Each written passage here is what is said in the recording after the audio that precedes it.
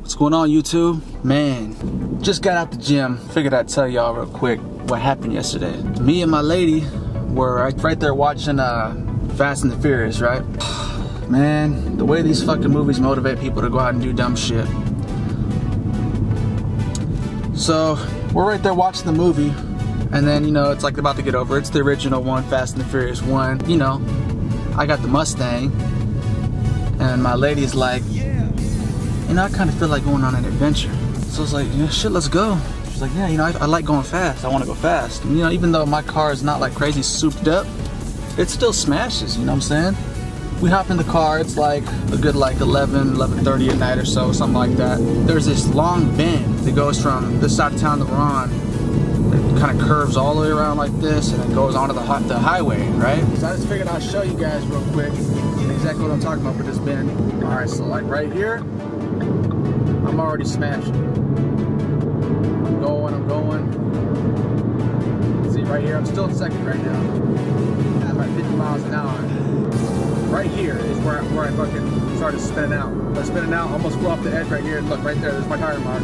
Flew through the fucking grass fucking highway. If there would have been traffic like how there's traffic right now, yeah, I probably would have crashed into somebody. I told her I've already topped this car out. For some reason, I don't know if this is all Mustangs that are in my uh, my class, like I mean my year, I got a 2014 Mustang, right? I've already topped it out on the highway, which is a fucking sad excuse for a fucking sports car like this one. It tops out at 115. So I don't know if there's a way to change that or not, or if I just have to go like take off the governor or whatever, which would fucking void my warranty.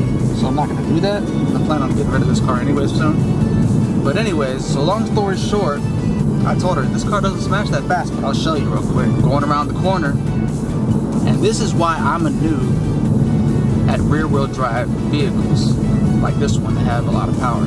I was going around the corner, and fucking redlined it all the way at second gear, and then when I went to throw it into third gear, I was still bending around the corner, and I slammed it into fucking third gear, and when I hit the gas, it still had enough power to spin the wheels, so I fucking spun the wheels, going like, I don't know, I was already going like 60 or so. My rear end just kind of slid out. So then I fucking corrected it. You know, it's in the middle of the summertime right now, so I corrected it and it corrected it hella fast. So it spun the other way. So I corrected it again and I was just kind of like, you know I'm saying, zigzagging like this back and forth. If there would have been traffic right there, I would have probably slammed right into the fucking cars that were on the uh, on the highway. But luckily I was observant, observant enough to check to make sure there was no cars uh, gonna be in my way before I performed that fucking stupid stunt. Yes, I do admit it was a stupid stunt. It's hot as fuck Cause you know, I could've could've killed me and her, I could've killed someone else or seriously injured everybody, I could've just ruined the car, there's all kinds of fucking things that could happen. But I guess the biggest mistake was with a rear wheel drive car, smashing like that and it's still gonna have power, like probably don't ever shift like a fucking racer when you're bending around a corner because you might just fucking wreck your shit. So yeah, that was pretty fucking crazy. I had to hop out the car afterwards, look at it, make sure that I didn't fuck anything up.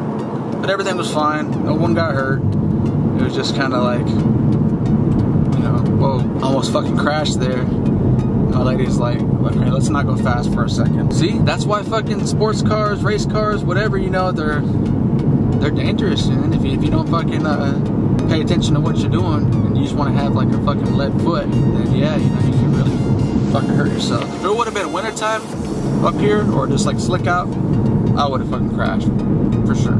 Because this car is rear wheel fucking drive. Oh yeah, that's another thing.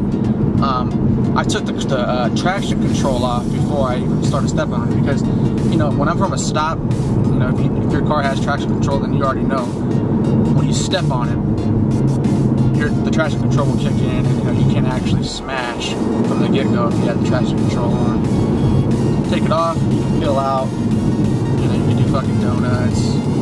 Actually go. You know, when I first test drove the car, that's that's the same thing the fucking uh, salesman was telling me. So yeah, make sure you turn this shit off if you're trying to smash. Man, had that shit off. If I would have had it on, when I went to shift and stepped on it again, it probably wouldn't have peeled out like that. It would have caught, you know, I wouldn't have uh, spun out so crazy. So, if you have traction control and you're planning on doing something dumb like that, probably keep it on. But anyways, y'all take it easy. Don't be a douchebag like how I was yesterday, damn near fucking killing you and your lady or someone else.